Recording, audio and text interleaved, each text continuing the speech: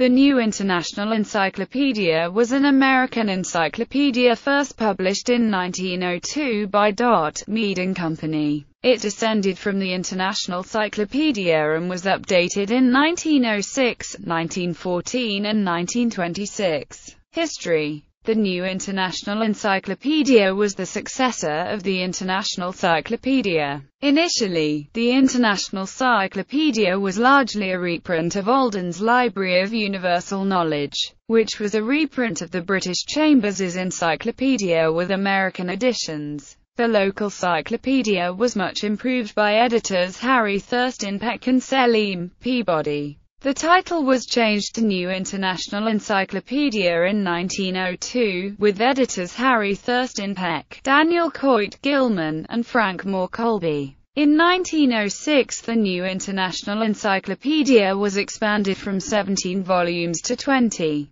The second edition appeared in 1914 in 24 volumes, set up from new type and thoroughly revised. It was very strong in biography. The 1926 material was printed in Cambridge, Massachusetts, by the University Press. Boston Bookbinding Company of Cambridge produced the covers. Thirteen books enclosing 23 volumes comprise the encyclopedia, which includes a supplement after volume 23. Each book contains about 1600 pages. Features a great deal of biographic material is recorded in the New International Encyclopedia. An early description of Adolf Hitler and his activities from 1920 to 1924 is in the supplement to the 1926 edition. Many of the names used to describe the scientific identities of plants and animals are now obsolete. Numerous colorful maps which display the nations, states, colonies, and protectorates which existed early in the 20th century are included.